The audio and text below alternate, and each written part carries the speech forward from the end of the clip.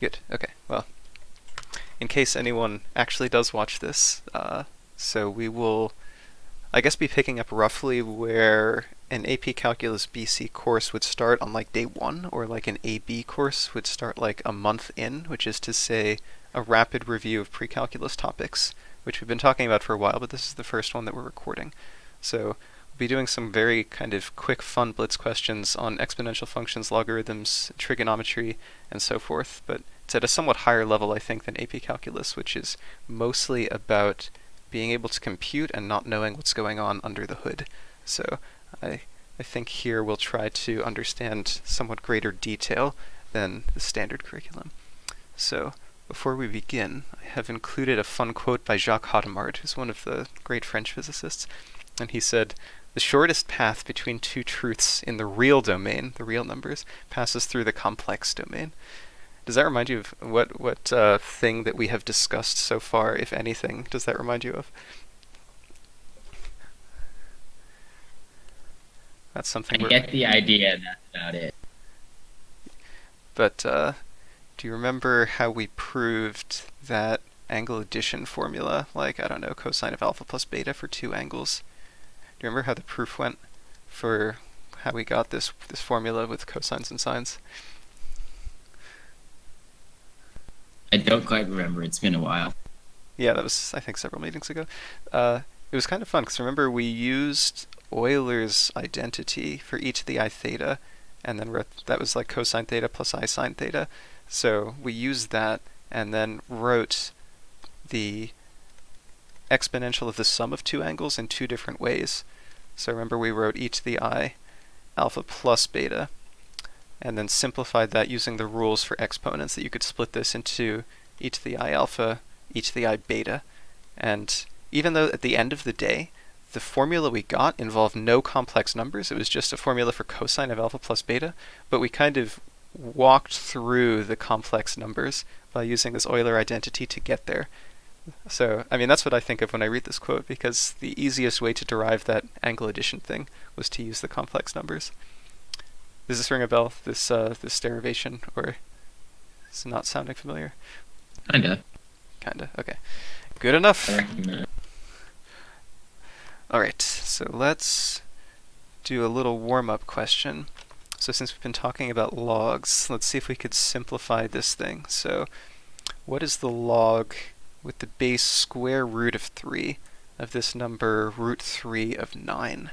And you don't have to give the, the full solution right away, but if I wanted to start tackling this, what simplification or what first step or what thoughts pop into your brain when you look at this?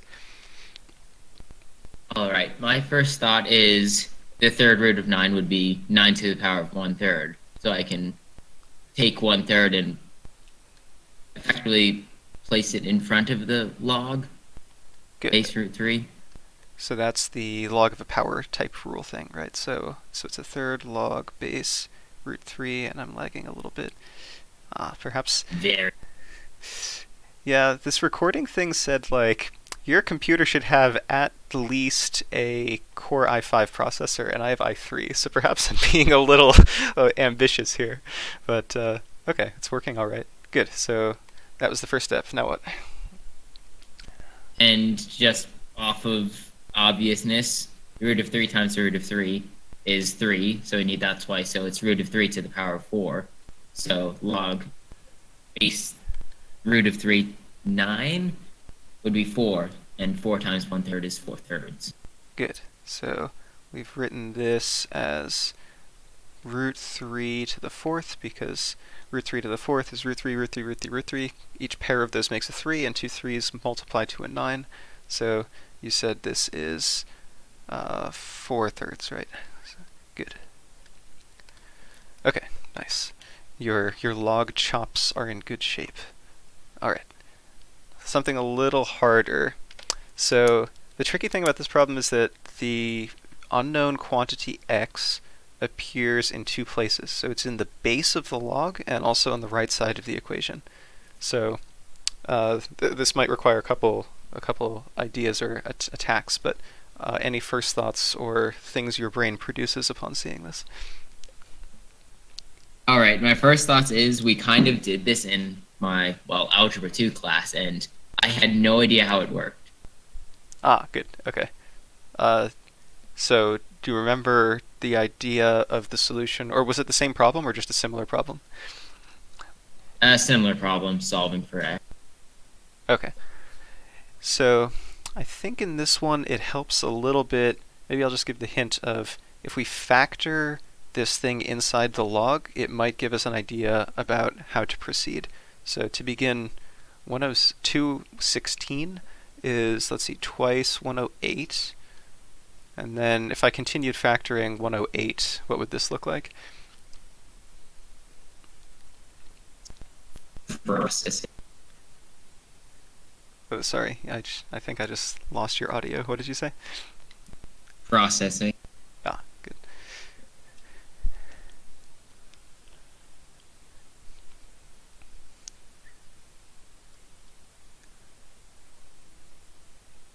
So perhaps we could split it in half again. So if I pulled out a factor of 2. Yeah. I was just trying to do a mental. yeah, mathematicians are the ones that are worst at arithmetic. So if I pull out another 2, what do I get left here? 54. 54. And then 54 is twice. This is going to be a very strange arrangement of equal signs, but 54 is twice 27, I think, and 27 is 3 to the power 3. So let's try that. Uh, log base 2x, and now, let's see, this is 2 times 2 times 2 times 3 to the power 3. So I'm going to write that somewhat suggestively. So there's 3 powers of 2 and 3 powers of 3. So log base 2x of 2 cubed times 3 cubed equals x. I don't know why I put an equal sign here. This should be an arrow, I guess. Uh, okay. Thoughts on what to do at this step?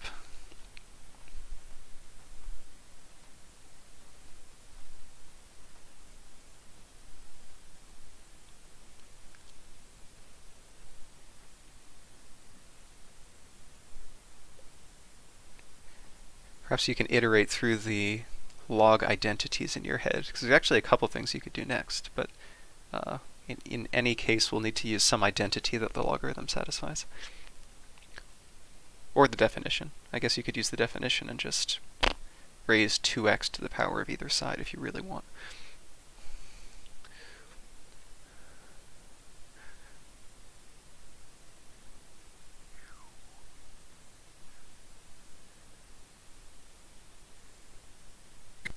I guess I can try converting this to, well, like the definition of logarithm just to see if that gives us any clues.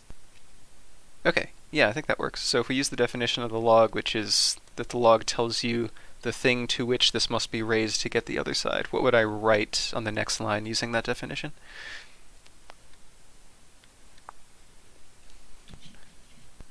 I believe you can write, uh, give me a sec.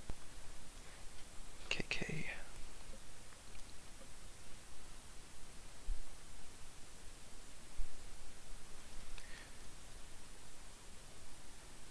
Just to make sure I understand what you mean by the definition, I'm assuming you mean this thing that if log base a of x equals b, then that means a raised to the power b equals x, I think. Is that right?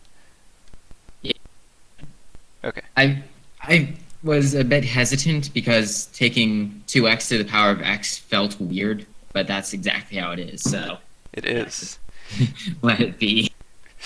I always get a No little pun. nervous when I see 2x to the power x, but this might actually help us. Okay, so we have 2 to the 3 times 3 to the 3, and maybe it's even good to distribute this, not distribute, but kind of multiply out the power here, because this is saying 2 to the x times x to the x equals 2 to the 3 times 3 to the 3. Now this isn't your... Oh, this is quite amusing. yeah, this is kind of solved by eye. So solve by eye, and what do you think? What value of x satisfies this? x must be 6 divided by 2.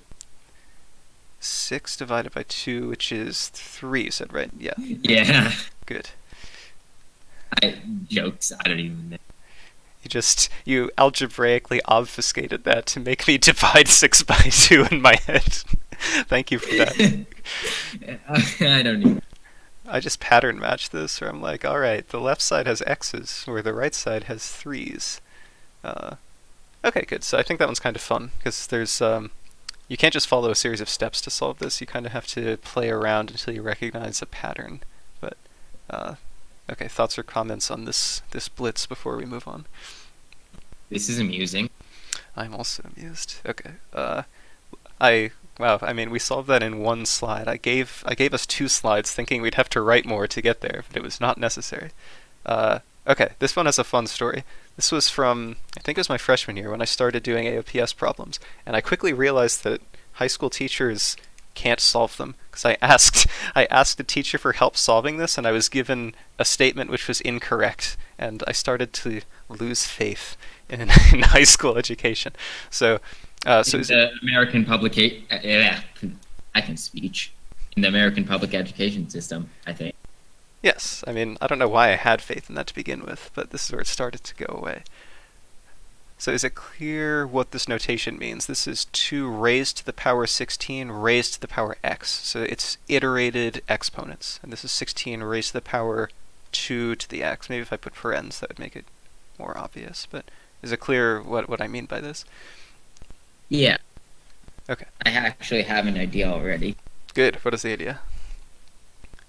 Divide by two. Divide by 2. Okay, so... Divide each side by two. I mean.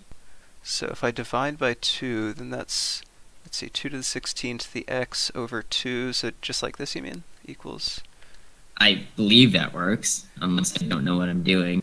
2 to the x. Okay, so what simplification do we get from doing that? So that would be 1 to the power of 16 to the power of x equals 8 to the power of 2 to the power of x. Uh, let's see, does that work? Uh, is it I don't I don't quite know. So I think maybe a different way to think about this would be dividing by 2 is the same as multiplying by 2 to the power minus 1, right? Because 2 to the power minus 1 is a half. So the left side is actually, when we simplify, is 2 to the power 16 to the x minus 1, right? Because we've multiplied by 2 to the minus 1, and multiplying exponents add. So we can't actually divide out. I think what you wanted to do was this, right? Is divide and kind of. Yeah. Okay, I see what is up here. Because it's not like a coefficient. It's yeah. Yeah, because it's all raised to a power, so I don't think we can go straight through. But it would be, it would have been very nice if that worked. Uh, okay, so good. The first, see, I, I, one thing I really dislike about high school math is it gives you this impression that if you look at a problem and don't immediately know how to do it, then you're somehow dumb. But all of the interesting problems require several attempts before you get anywhere. Okay, so it looked like that didn't didn't help us too much. Uh, other ideas? I am currently looking at the title of this slide. Ah, good. I have hidden a hint. so, what do you think based on the title?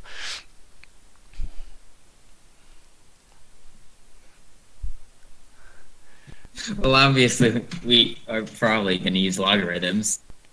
Okay, so what base? So suppose I take the log of both sides of this equation. What base would you like to use? I guess log base 2 would work the best just because there's an obvious solution, at least for the left side. Yeah, so let's try that. Log base 2 of 2 to the 16. The problem with it, with this iterated exponentiation is you have to write it really big so you can make it clear, you know, because every time you raise to another power, you have to write the numbers smaller. Okay, log base 2 is 16 to the 2 to the x. Okay, so we have two logs. So this is 2 raised to this whole power, and this is 16 raised to this whole power. Okay, so uh, you already alluded to it when you said obvious solution, but what simplification happens now? So since, well, 2 to, the, 2 to the power of what equals 2 to the power of 16, x, 16 to the power of x, it's kind of already there that That would be, I can't quite word this quite right, just 16 to the power of x. Yeah, because this is this is just a statement that log base 2 is the inverse function of 2 to the blah, right? Log base 2 eats this 2 to the blah. So good. On the left, we're left with 16 to the x. What happens on the right?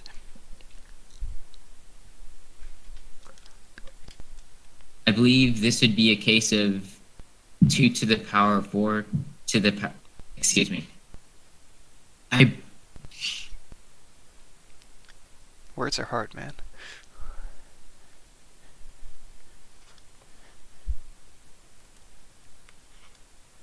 Wait, did I lose you? I hear nothing. I don't know if push to talk. I'm here. Oh, okay. I believe that the right side would simplify to, well, since 2 to the power of 4 equals 16, I, this could probably simplify 4 to the power of 2 to the power of x. Possibly. 4 to the power 2. So you're saying this would be 4 to the power 2 to the x. Is that true? Uh, And that no longer feels right. it might be right. I just can't simplify in my head. So, so let's. Well, my pen's all screwed up. So let me just rewrite what you just said. So this is. Now I'm gonna need to write this really big. So you're saying, let's write 16 as 2 to the power 4. So this is 2 to the power 4, and that whole thing is raised to 2 to the x. Right? So then. I believe so. Okay. And then was the next step you were doing in your head to do this power to a power means multiply? Is that what you were doing? Or were you using the log of a power rule to pull that out? I wasn't quite sure what the, the step you were doing was. It was neither of those. Ah, okay. So, It was basically me hoping that it would be a case where it would just be, I don't have to describe it, just 4 to the power of 2 to the power of x. I can't word that any better. Oh, I see what you're. So you were trying to say, all right, let's kill, let's use the log to kill that innermost thing, and then the answer should be four to the power two to the power x. But I don't think that's quite true because uh, log base 2, if we rewrote this as 2 raised to some power, then we could get rid of the log outside. But right now, this is something which is not 2 raised to some power, so we can't just kill the log off. We have to simplify inside first. Does that make sense? Yeah. Okay. So, how would you propose to simplify the guts of this thing first? So this can, well, we can, as you said, uh, need to learn the names of these rules. I don't know All right, the log of a power. I can, I believe I can just take the x out and get the x or the 2 to the the x. resulting thing. Yeah, just go through all of those. Yeah, I think Then we get an easy thing to work with. this the whole thing is 2 to the x log base 2. Yeah, the problem is the nested exponents. You have to be very careful about what's the power you're pulling out. So, I think I agree that's true, right? Because I just split this into two pieces. There's the, the power piece and the base piece. Uh, okay, so then Out of curiosity, why is it that um, the log of a power results in 2 to the power of x and not 2 as a coefficient to x? Uh, so you're saying why did this come out as 2 to the power x rather than 2 times x? Oh, because it's literally dragged out. Never mind. Yeah, yeah. So the, the, the you just it's weird because I mean you have to think of these as two numbers that are just like rolled. Like this is a, and this whole thing is b, right? This is log of a to the b, so the whole b comes out, which is basically what you just said, right? That's making more sense. Good. Yeah, because we don't have a rule for like a to the b to the c to the d, uh, so we have to kind of reduce it to the rule with just two numbers that we have. But 2 to the 1 to the 1 to the 3. Yes, to the window, to the wall. Uh, okay, so if we're happy with that step, what should I do with this? I guess we're almost done, but what do I do with this next line to simplify?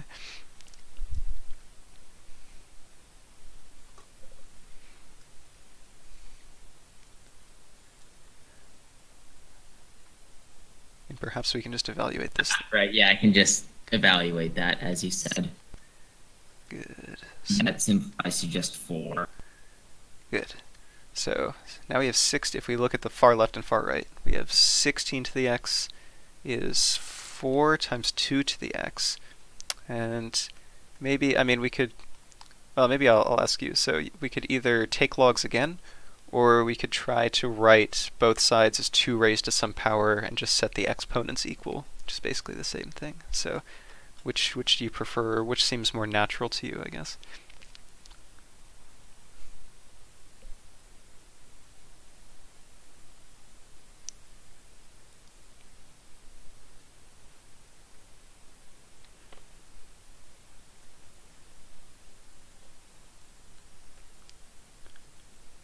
Maybe Remind me what the options were. Ah, good. Well, okay. Let me rewrite this this side in a slightly more obvious way. So I'm just going to rewrite 4 as 2 to the 2. So hopefully that's fine. And then I'm going to combine the powers. So this is 2 to the x plus 2. Right. So so I made two suggestions about what to do next. We could either follow the title and just take the log base 2 again of the left and right side. Or if you want to skip that step, I think there's an easier way to just rewrite 16 as 2 to some power, and then compare the left and right sides. Either of them works, but I was just asking which, uh, or if you have a different way, that's fine too, but which would you prefer to do next? I feel like taking the log of both sides would probably be more easily understandable by me, but I don't quite know how to do that right now. Okay, well, I mean, let's just follow our nose. So if, if you say... I'm gonna keep thinking. What do you say? Just gonna think about that. Okay, well, while you think, I'll just write it out explicitly. So if we take the log again, I'm just going to do log base 2 because that seems to be working for us.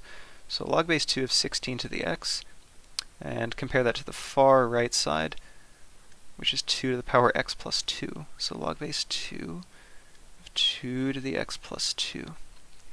Okay, so maybe you've already gotten a step ahead of me since you were thinking while I was writing. But uh, so, what should we do at this line to make our lives easier?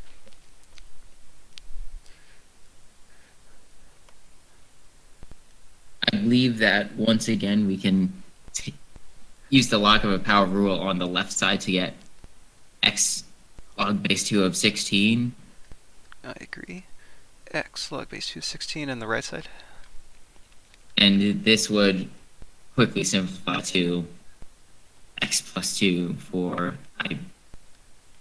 Should i describe it? Yeah sure. Which why is that true? I don't actually know. I guess there's two ways to see it. You could either say well this is log of a power so i pull out x plus 2 and then what's left inside is log base 2 of 2 which is 1 or the other way is to say, well, the definition of a log is the quantity to which you must raise the argument to get the given number. So by definition, the number to which I must raise 2 in order to get 2 to the power x plus 2 is of course just x plus 2. Uh, either of those is fine, but you were probably thinking the second one, it sounded like, when you, you almost said by definition, I think, right? I I just didn't want to say that it was like obvious. yeah, that's fine. I mean, I'm very hesitant to use that term because uh, often people will say things are obvious in order to avoid explaining them. so, good. That's a good habit. But okay, are you happy with why that's true now, though? Yes. Good. Okay, so now we're basically done. Uh, log base 2 of 16 is 4. So we have 4x equals x plus 2. And I assume you can just ding that off in your head. So, what value of x satisfies? Hmm. I fucking wonder. I think it's two thirds. Uh, I think it's. Let's see. Yeah, okay. Good. I almost did a dumb thing and thought it was three halves for a second, so I'm glad you said that. Good. Yeah, because divide, or sorry, subtract off the x, 3x is 2, divide by 3, x is 2 thirds. Good. Alright, so that was, that was, several steps, but uh, hopefully the procedure is clear. It's just that you can iterate applying the logs. Uh, thoughts or comments on this? Is this still cool? Still amused. Good. Okay. All right. Let's keep moving. These are these are supposed to be blitz type questions, which is a word for questions which I learned from my Russian colleague Alex, who likes the word blitz because he's Russian. Ah, okay. Have you seen these functions before? Cosh and cinch. I have not. Oh, you are in for a real very treat. interesting. Good. Okay. Well, uh, we will eventually, uh, by the end of this question, understand what these things are doing. But for now, these are just mystery functions. So they look like cosine and sine, except they have an h on the end, and they're pronounced cosh and cinch. And I've just defined them in terms of e. So we know what e is. We know how to raise e to powers. So I'm just going to have. I'm I'm I'm gonna interject here. Cinch. What you don't like that word? Who who thought this was a good idea? It gets worse. The, all of the standard hyperbolic functions have, sorry, hyperbolic trigonometric functions have versions with an h on the end. So, for example, there's tanh, which is tangent with an h on the end. There's sech, which is secant with an h on the end. It's it gets just terrible. I tried to write tanh, but my pen fucked up. Okay. And cinch. Cosh is the average of its argument alpha, e to the alpha and e to the minus alpha, and cinch alpha is e to the alpha minus e to the minus alpha. So at this point, they're just mystery functions. I've just defined these things and told you nothing about them except for the suggestive title, A Taste of Spacetime. So I will ask you, you don't have to do it on paper, but just tell me what to write down and what simplifications to do. Let's compute the square of cosh alpha, so take this whole thing quantity squared, and then subtract the square of cinch alpha, and then we're going to FOIL out and simplify, but you're going to tell me what to write. So, what should I write first? Before I start that, I'm gonna point out that I got cinch confused with lynch. if there was a math function called lynch, I'd be I'd be done. All right, back to the problem. Good. What should I write?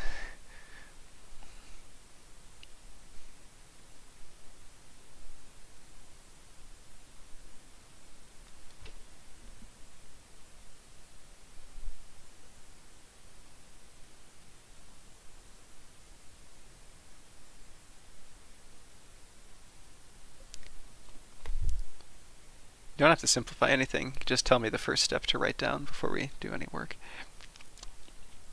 I guess the starting point would be to take cosh and square it as a function. I don't know. Yeah, so I'm, I'll just recopy everything up there. So there's a half e to the alpha plus e to the minus. Look at those brackets. They're nice big old brackets. So you said take that whole thing and square it, and then do the same thing with cinch, I guess. I don't see not. Alright, e to the alpha minus e to the minus alpha, and big old brackets, whole thing squared. Okay, now we have to do some work. So, uh, what should I do to simplify the first set of brackets, this e to the alpha plus e to the minus alpha? When I square it, I guess I get a FOIL sort of thing going on. So, what do I get inside the first set?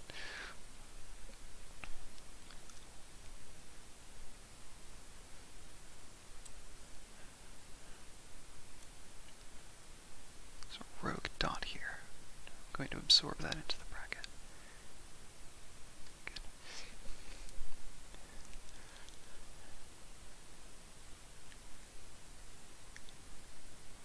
I'm. I believe that you can just FOIL this like any other equation. Yeah, do you want me to write this twice to see how the FOIL would work, or can you just do it in your head? I don't see why not. Sure, you can write it twice. Okay. Uh, I'll square the one half to make life a little easier, so we don't have to worry about squaring that part. So a half squared is a fourth. So I'll write the one fourth, and then just to make it easier to FOIL by eye, I'll just write this whole thing twice.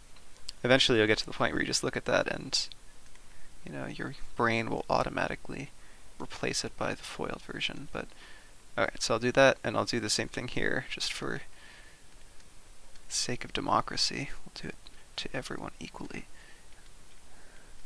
Uh, I'm totally doing this to make you suffer. You are punishing me. Okay.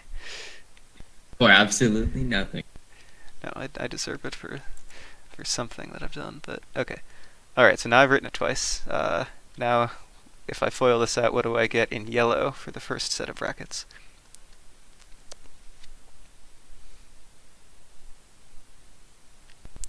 I believe this is a case of e to the power a to the power of 2.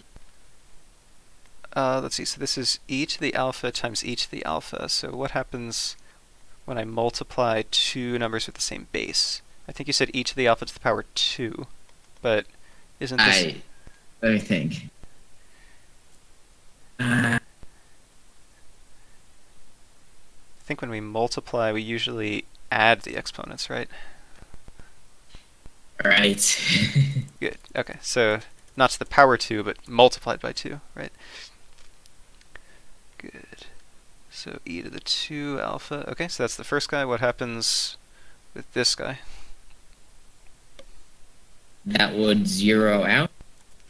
Yeah, so it's e to the Oh, power that 0. would be e to the power 0. It's 1 Good. because So of that.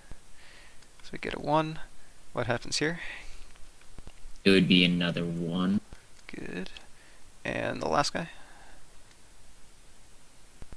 And an e to power negative 2a. Yeah, e to the minus 2 alpha. Good. I was having problems foiling because I kind of, at this point, don't remember how to foil for some reason. Oh no, it's one of those. Uh, I mean, I know, I know what to do. I just didn't remember my exponent rules. Yeah, I guess this is in the learning theory called cognitive load, that if you introduce something new to someone and ask them to do something they already know how to do in the new context, they'll suddenly forget.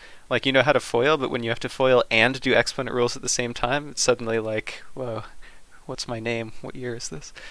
Uh, okay, well, hopefully we can do the second It's one. 2017, right? yeah, something like that, plus or minus one. Alright, hopefully this one we see the pattern. So, what are the terms in the second guy? e to the power 2a. Good, e to the 2 alpha, and what else? Yeah, and then another plus 1 plus 1. Well, now there's minus signs. Oh, right? wait. Wait, is that how it is? I don't know. This is a minus, so this, It so- isn't. Whoa. good. So I think this should be minus 1 and minus another 1, because this is minus e to the power minus alpha times e to the alpha, right? So you agree that the exponents are as before, e to the minus alpha times e to the alpha is e to the 0, but we still have the minus sign left over. Right, that makes sense. Good. So what happens for the last guy? Because now there's two minus signs. So this would be just e to the power negative 2 alpha. Good. e to the minus 2 alpha. Alright, this is uh, looking a little messy, but I think now some simplifications happen, because this whole thing in between the brackets comes with a minus sign, right? So I'm gonna, I don't know, do you think I should rewrite it, or can I just go through and distribute this minus sign? Would you be happy if I just distribute that minus sign, or should I rewrite it? I don't think you need to do either of those, Oh, can you just tell me what, what happens next? You see it? because the one fourth times something minus one fourth times. Wait, no. Is it the same way? Well, No, the okay. only difference is these minus yeah, signs. everything changes. Okay, I think. Yeah, you can distribute it if you like. Okay. Maybe I'll just I'll rewrite it to make make life a little easier for you. So I I think there's an overall the one fourth multiplies everything. So I'm just gonna pull the overall one fourth out so we don't have to worry about it. And then I'm just gonna rewrite everything inside the parentheses, but distribute the minus sign. So I'll rewrite everything over here with the minus sign uh, through to make life easier. So here's all the stuff from the first group. e to the 2 alpha plus 2, combining 1 plus 1. the simplest part of this problem. Uh, plus e to the minus 2 alpha. Now here's the minus sign. So the minus comes in e to the 2 alpha. Now this is minus a minus 2, which is again a plus 2, right? And now the minus distributes all the way over to the plus e to the minus 2 alpha. So there's a minus e to the minus 2 alpha. Okay. Happy with that, or is that too fast? I'm happy with this. As far as I can tell, literally everything zeroes out. Oh, wait. Never mind. That's a 4 right there. Good. But I agree that all the e's cancel out, right? Yeah. So that's a little curious. The e to the plus 2 alpha, maybe I should use the same color. e to the plus 2 alpha cancels with the minus e to the 2 alpha plus e to the minus 2 alpha cancels with this. So inside we have a 4, outside we have a 1 fourth. One of my favorite numbers, what is this? 1 divided by 1. Man, you loved saying things in complicated ways. It is 1. Uh, so just to remind ourselves, what did we just compute? We've, this was cosh, cosh alpha squared with a minus sign, sinh alpha. So what ordinary trigonometric identity for just cosine and sine does this remind you of? I believe this reminds me of the Pythagorean theorem.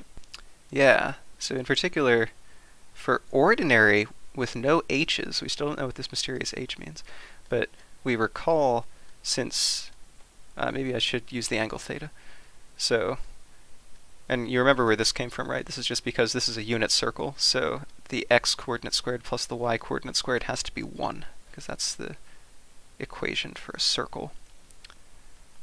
So for regular trig functions, we had this thing where we said cosine theta is going to be defined by the x coordinate on a circle, and sine theta is going to be defined by the y coordinate on a circle, and the equation for a circle is x squared plus y squared equals 1. Now I'll ask you, if we decide to define cosh as the x coordinate of something, and define sinh as the y coordinate of something, what does this equation look like?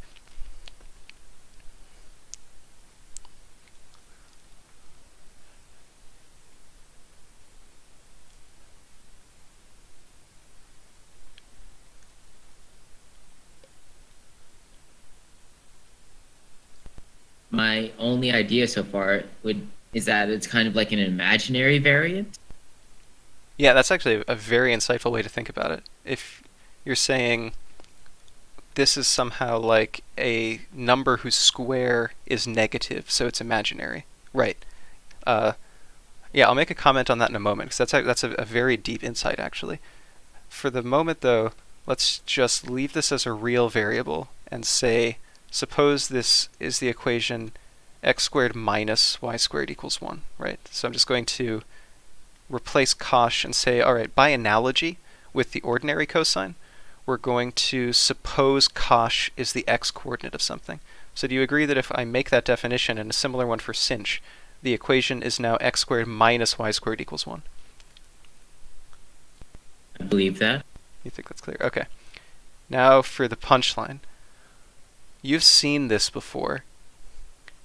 This is the graph of a conic section. What conic section has the defining equation x squared minus y squared equals 1? I don't even know what a conic section. I have never graphed a conic section. Did you not just have a final project in that class about conic sections like parabolas and ellipses and circles? I if this is one I haven't seen before. Well, let's let's just look at the graph. Is this just a, a is just a, yeah. I can never speak. it just is this a very complicated formula of something else? Yeah, it's not a complicated formula. Oh wait. This is uh let's just pick some points that are on this. So if x is 1 and y equals 0, that's a point on here, right? So 1 0 is on here. If x is minus 1 and y is 0, minus 1 squared is 1. Good, right? So these two points are on it. If I increase x by a little bit, so I'm going to go a little bit to the right, if I increase x by a little bit, then I think I need to increase y by a little bit as well so that the difference is still 1. So it starts to look like this. Have you seen this before? Oh. Well, we never graphed in hyperbolas. You never graphed hyperbolas, yet you had to walk around Jim Thorpe looking for hyperbolas? That is correct. Gee, this is worse than I thought. Uh, okay, sorry. I thought this would be a much more impactful takeaway when you saw that equation, because I assumed you had graphed these before. Damn. That is interesting, though. Now that I actually know what this is. Uh, I'm, planned this thinking like, oh, this will be so exciting, but I was mistaken because oh, that's not what I want. Come back, come back. Okay. Uh, yes. Blame the American education system. Well, if you had actually seen a graph. Wait, how how would you know when walking around? How did you know when you would see a hyperbola if you haven't graphed them yet? Because both the project paper and Google had pictures of them. Oh, that's disappointing. Okay, well, now we see this is the graph of a hyperbola. So now I will ask you, what does the h at the end of cosh and sinh stand for?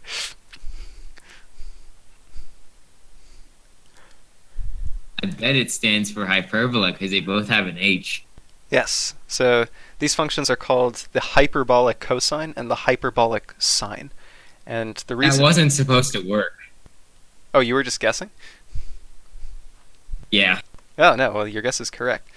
So these are these are really interesting functions because you might have asked, let's just go back to how we defined sine and cosine, right? Because when we defined sine and cosine, you were saying let's just define the x and y coordinates of a point on the circle at a given angle. But you might have asked, what's so special about circles? We could label the points on any curve and ask what function gives me the x and y coordinate of a point on the curve. That's a really bad x-axis. So, in this case, we said the x and y coordinate of a point at angle theta, cosine theta, sine theta. There, that's the x and y coordinate of a point on the circle. So now you could do the same thing and say, what are the x and y coordinate of a point on a hyperbola? And those are the hyperbolic cosine and the hyperbolic sine. So here's a point on the hyperbola. The x and y coordinates are cosh. And I, tip, I like to write this as alpha. Cosh alpha and sinh alpha. Ooh, that's I forgot the h. Uh, okay. Is that analogy clear so far? Yes. Okay. The one thing that's tricky about making this analogy is that there's no notion of angle on the hyperbola, right? Uh, it would be very weird to label these points by the angle they make with the axis because you can see that once you go past 45 degrees, you you you miss the hyperbola, right? You don't hit it anymore. So you could ask the interesting question: What should we use instead of an angle to label these points on the hyperbola? Like what what should alpha be to label these points? And the answer is quite interesting. The, uh, you could say back in the circle case, you could say if we didn't want to use angle anymore to label points on the circle, and we wanted to use something else, you could label it by how much area a sector encloses. So maybe I'll Oh just, Jesus. yeah, I mean it's kind of interesting though, right? So maybe I'll just ask you, if this angle's theta, this is very easy if you think about radians, but uh, if this angle's theta and the circle has radius 1, what is the area of the shaded orange region?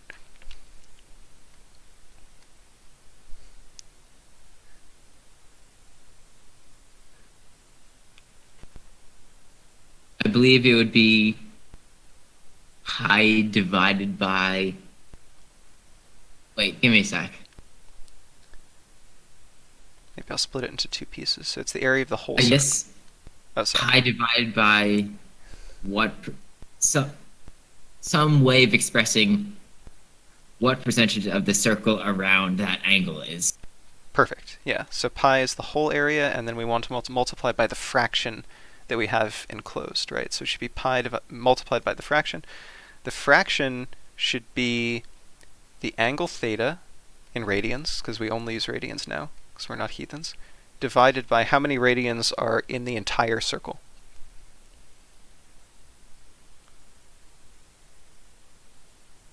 full circle 360 degrees in radians. Yeah, two pi, 2 pi. Good. I think. Exactly, yeah. You, you think correctly. So the pi's cancel, and this area is theta over 2, right? Whoa. Okay, so I mean, well, there's no magic there. That was just fractions. Uh, okay, well, we learned It's something. still cool. Yeah, I mean, I guess before we didn't know how to express the area of a wedge in terms of the radian measure, and now we have this very nice formula. You just take the number of radians and cut it in half, if it's a unit circle. So now, that works way better for the hyperbola, because now we don't need angles anymore. We just define this nice property that take any point on the hyperbola, connect it to the origin by a straight line, and find the area find the area of this region, this orange region. And just like over here, it was theta over 2, I'm going to use a different variable and call this alpha over 2. Good. So if you do that, if you find that area and define it to be alpha over 2, and then take those functions we wrote down above, cosh and sinh, and plug in alpha, it will give you the x and y coordinates of a point on this hyperbola, which is quite magical, I think.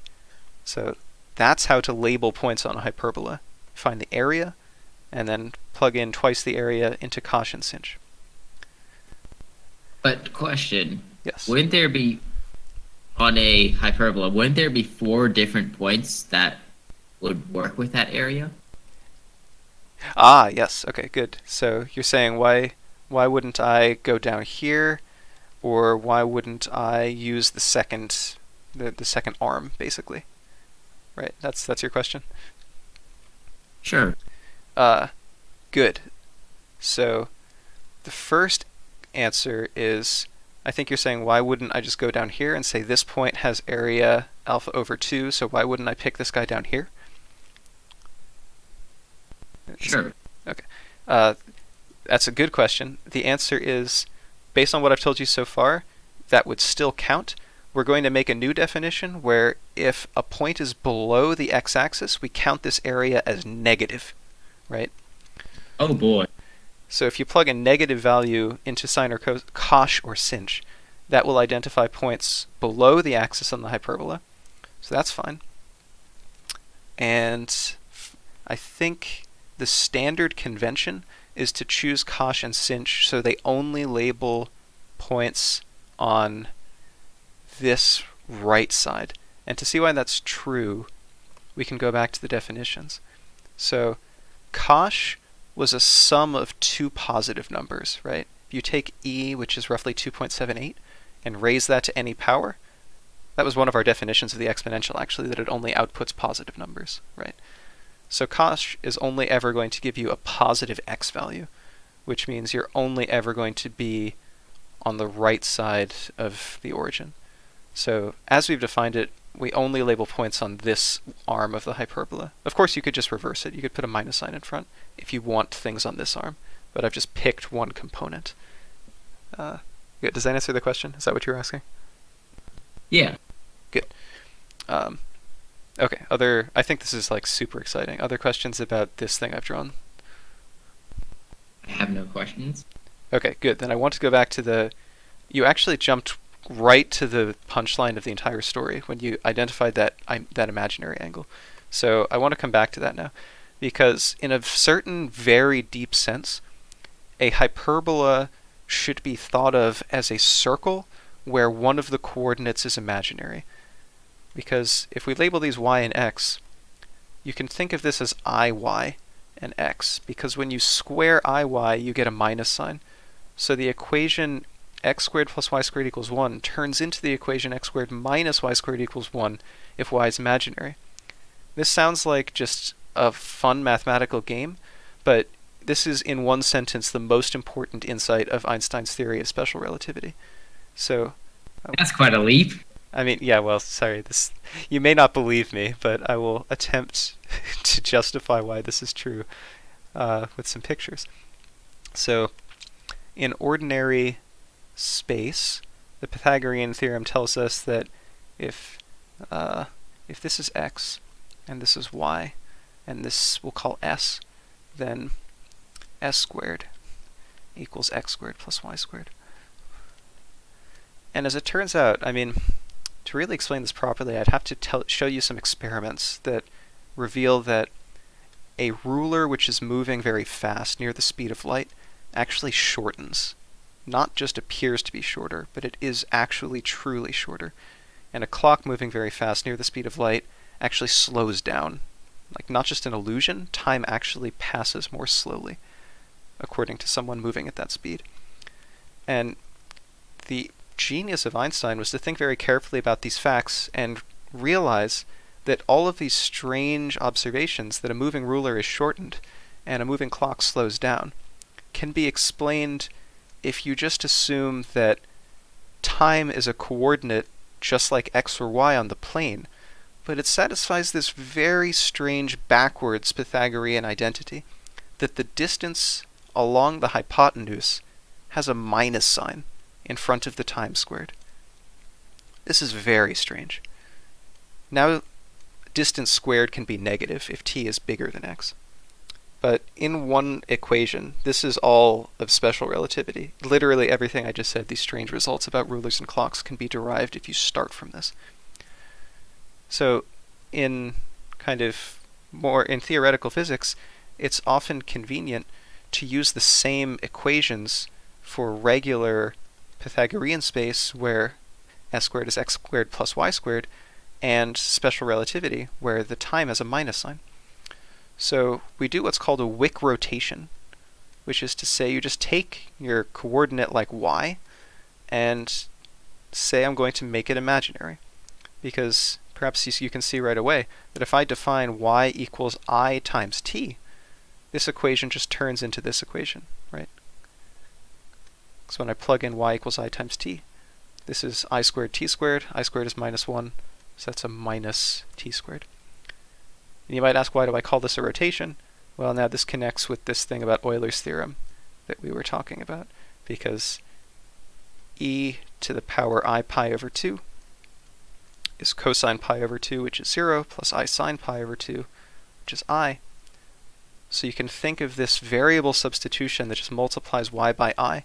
You can think of this as rotating by an angle pi over 2, which is 90 degrees right? Just because of this e to the i times pi over 2 equals i. Okay, so, I mean, maybe it will be years before the full consequences of all of this uh, are clear and like, I don't know, uh, and you believe all the stuff I've said, but I just want to stress that already at the end of chapter one, we've done enough real mathematics that we can start to see some very deep truths about the universe. So, thoughts or questions on this? The return is coming very fast. Good. Okay. Uh, is this is this sensible or like is the idea sensible or is this just all very mysterious? I kind of understand what's going on. I want to think I understand at least. Okay, that's good. I mean, as long as the step the step is clear, because I think well, I mean, I know that the idea is clear because you thought of the idea before I told you of thinking of it as imaginary. So I think you at least get the point. Uh, good. Okay. I think. I mean, I think that's quite beautiful. But uh, all right. So with that, uh, a few more questions. I think we're like an hour in, but I want to revisit because this last thing on the AOPS pretest, remember I said to do all of the things except the trigonometry part. So I just want to do a couple of these super fast since these should be kind of automatic for you. So what's sine pi over 6? Okay, so sine pi over 6 would be... Give me a second. That'd be a 3690 triangle, so sine is the y value. 0.5. Good. 0.5 or 1 half. I like fractions more than decimals. That still took me way too long, but yeah, totally. That's good. I admire you for, for working it out from first principles, but this is one of the things that it's useful to have memorized. Uh, I cut you off. What were you going to say? So cos of pi over 2, well, cos is the x value, so 90 degrees would be 0. Good. How about this? Should I draw the circle for that one, or can you can you do it? I'm good. Let me think. Hmm. Mm.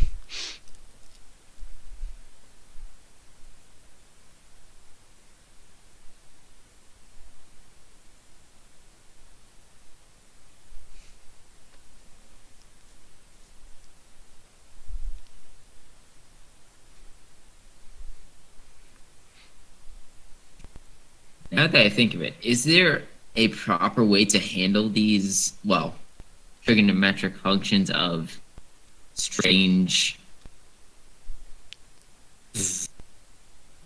By strange, you mean outside the first quadrant, basically.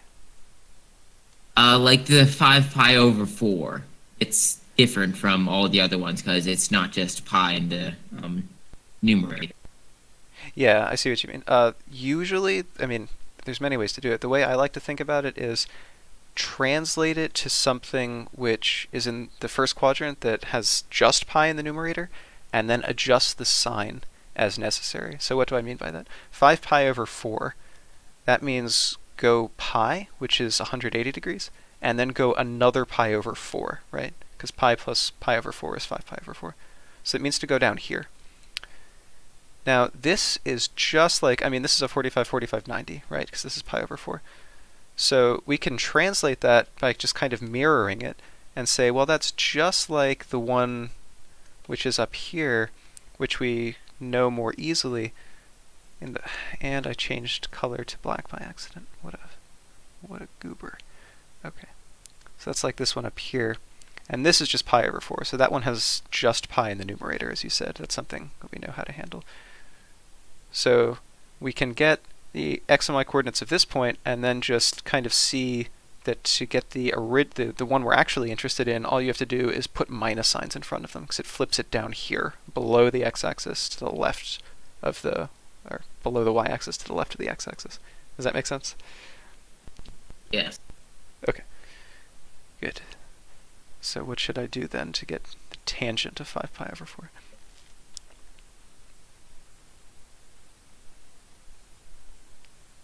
So tangent is sine of theta over cos of theta. So give me a second to think. So that would be one root of two divided by one root two. Yes. Right, that doesn't seem quite right, but Well, yeah, totally. That's fine. I mean, it simplifies very nicely to one of my favorite numbers. right. 1 over root 2 over 1 over Yeah, it root would 2. just be one. Good. And in fact, that's that's this one in the first quadrant, but that's also the thing we're interested in down here in the third quadrant, because if you just put minus signs in front of both of these, it's still 1, right? That's cool. So that's just 1. Good. Okay. So those are done. Um, let's see. Let's come back to these because those are multiple steps. Let's do the last one since I think we've seen in this enough times that hopefully your muscle memory is calibrated. So when you see something like this that involves a cosine and an I sine, there should be red flags and alarm bells going off in your brain. What should I use to rewrite that? I remember doing this in the past. Give me a sec. Okay.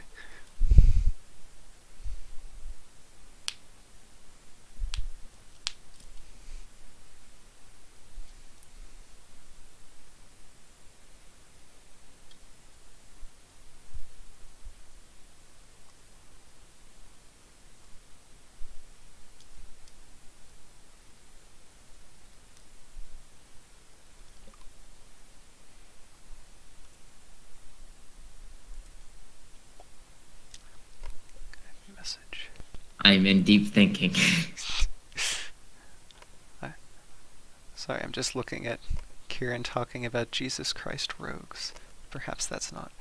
Uh, okay, so to help, what do you remember? What Euler's identity is? This. This. is- yeah. okay. What should I write? What is Euler's I- identity? I'm just trying to think of how to put this into terms. Oh, I see. So you remember the identity. You're just thinking of how to apply it. Okay. Uh, well, we could do it in steps if you want. First, the thing inside parentheses kind of pattern matches. So I'll just I, I'll I'll assume you have this memorized because it's my favorite equation. So e to the i theta is cosine theta plus I sine theta. It's a very arrogant sentence I just said. this is my favorite equation, so of course you have it memorized. Uh, okay, so what value of theta can we use so that that equation gives us an expression for the junk in parentheses?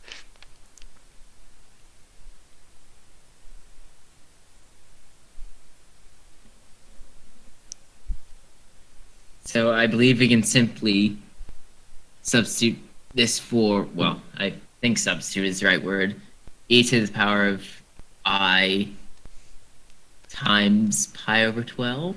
Good.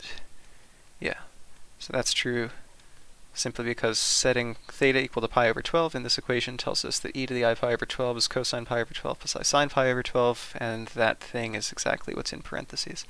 So that's in parentheses raised to the power 9. What do I do when I have a power to a power?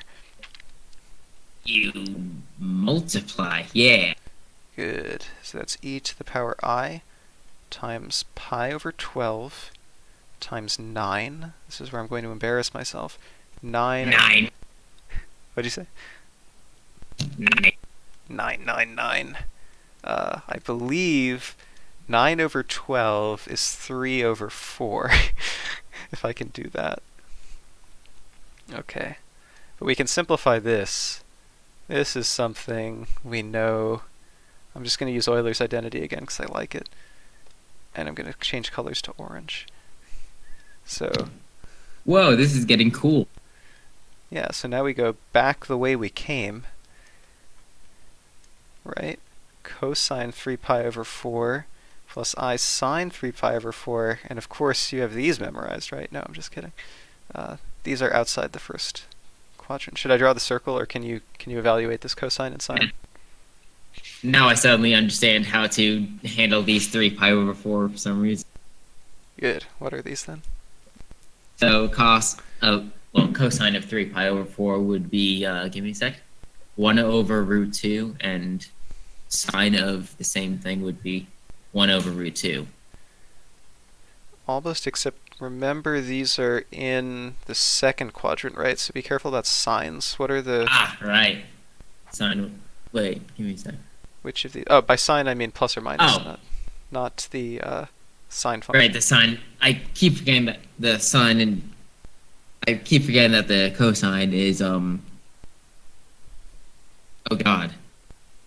Yeah, the cosine is the x value. Yeah, cosine is x. So which one is okay. negative? So cosine would be the negative one. Good, because we're in the second quadrant, so this is minus 1 over root 2.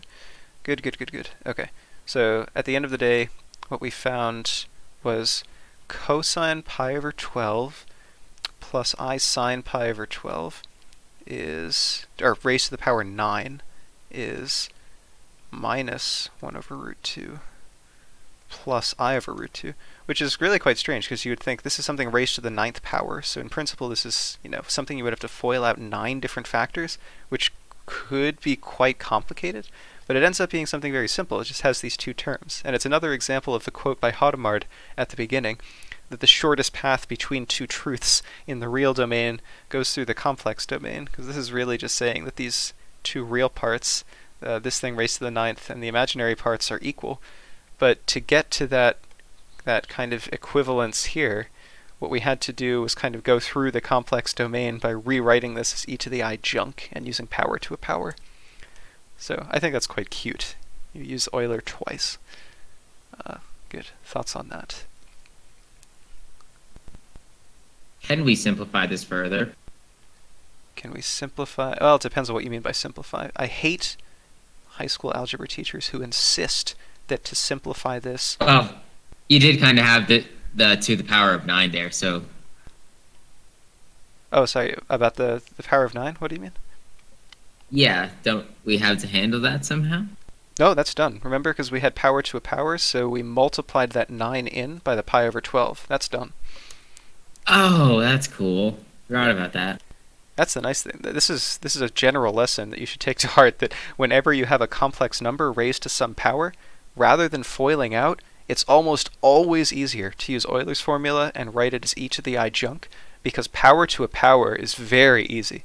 Right? 9 times pi over 12 and simplifying that to, to 3 pi over 4, that's a much easier way of handling the 9 than, you know, multiplying something by itself 9 times. So that's done. This is actually the answer. We don't need to do anything more work. That's pretty nice. It's quite elegant.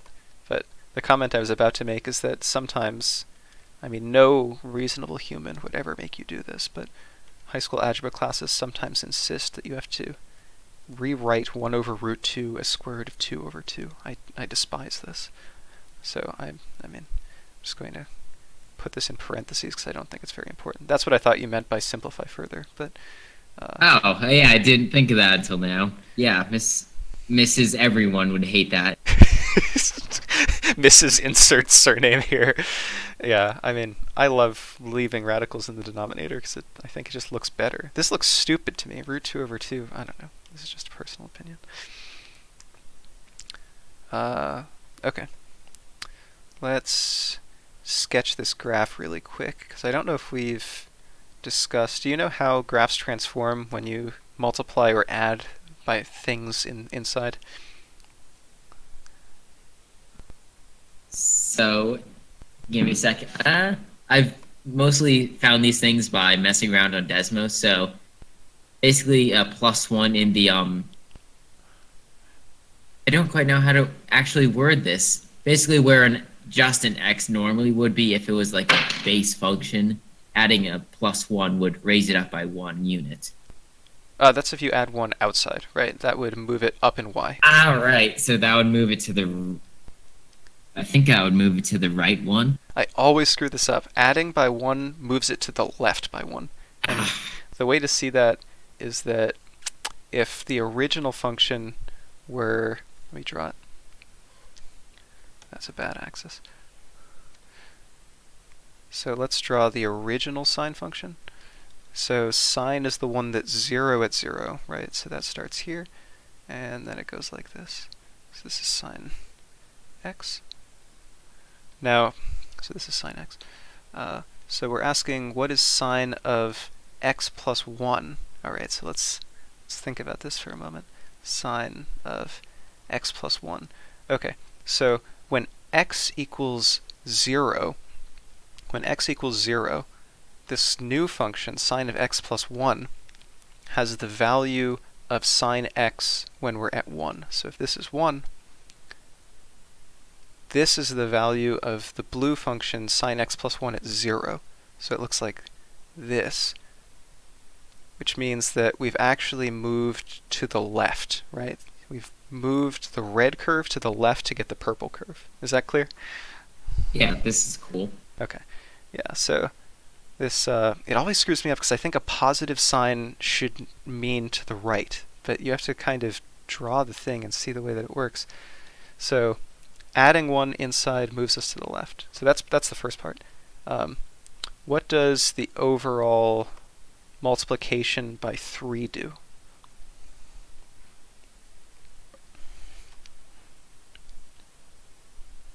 I believe that would. I don't. Okay, I'm thinking in terms of linear equations. So this would somehow increase the um. Well, since this is a sine wave, I can safely say amplitude. Yes. Yeah, so this stretches it. The ordinary sine function goes from minus 1 to 1. This will stretch it so that it's from minus 3 to 3, right? So that I agree. And then finally, multiplying by 2 inside, that's going to double the frequency at which it oscillates, right? Because the old sine function, so sine of x repeats after a period of 2 pi. Sine of 2x goes twice as fast, so it's going to repeat after a period of pi. Is that obvious, or should I draw it? That's obvious. Okay, good. Okay, well my my artistry skills leave much to be desired, so I will ask Stephen Wolfram to plot the overall y equals 3 times sine of 2x plus 1 in a moment once my Chrome loads.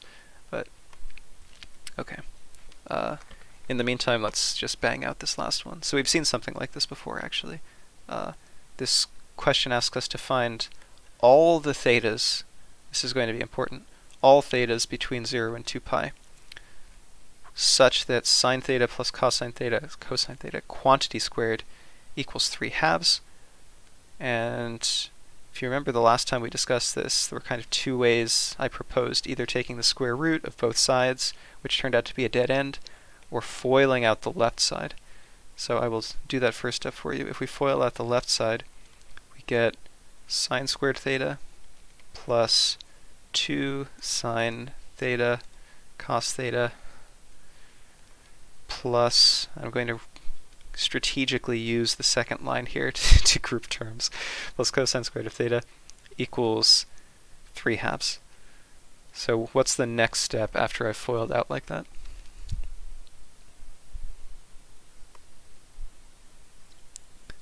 I know that we've done this before. I just need to think about it. Yeah, that's fine. Take your time. I will plot. I'll, I'll, I'll call up Stephen Wolfram while you think.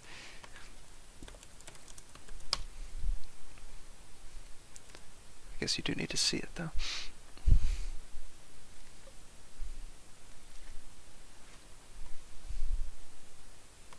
Wonder. No.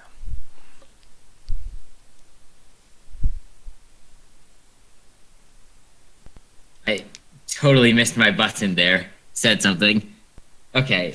I feel like we've substituted the 2 sine theta, um, yeah, 2 sine theta cos theta for something before. I can't quite remember how Yeah. it was. That's good. Okay. That's basically where I want you to be because I don't think it's necessarily required at this stage to memorize all of the identities, but it's good that you saw this and had like a spidey sense go off thinking like there's an identity. There's some identity that this is equal to something simpler. And then that's the point where you would just open up the book and look up the identity and you would realize, oh, there's this nice formula sine of 2 theta equals 2 sine theta cosine theta. And then you would say, oh, good, that's exactly what I need in this problem, right? Because that, that makes this much easier to deal with. So, supposing you have that formula at hand, then what happens?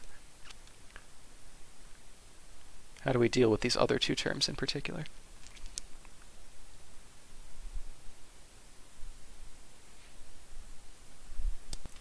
All right. So because of our Pythagorean theorem, we can know that sine sine squared of theta plus cos squared of theta equals one. Good. So this whole thing is 1. So I'm going to go ahead and just subtract 1 from both sides. So that kills off these, the genocides these terms, and that's the mathematically correct term. Oh god. it genocides these two. 3 halves minus 1 is 1 half. And then I'm going to replace this using the formula. So then we have sine 2 theta equals 1 half. Now here's the trick. The last time we did this, I asked a slightly easier question. When we first did this, I said find a value of theta. Find a value of theta which makes this equation true. And that's because at that point I didn't want to cognitive overload you with identities and the fact that there are multiple solutions. Now we're going to go, we're going to put on our big boy pants and address the fact that there are multiple solutions to this. So we need to handle the fact that there are many angles between 0 and 2 pi such that sine of twice that angle is 1 half. So the first thing we need to do is ask ourselves which angles have sine of that angle equal to 1 half. So we're just going to worry about the outside piece, not worrying about the 2 theta. But how many angles are there that have sine of that angle equal to plus 1 half?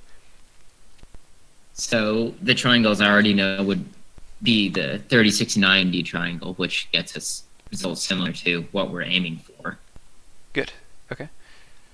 So using the 30, 60, 90, which looks like this, I think, is what you're what you're getting at. So there's one here and one here.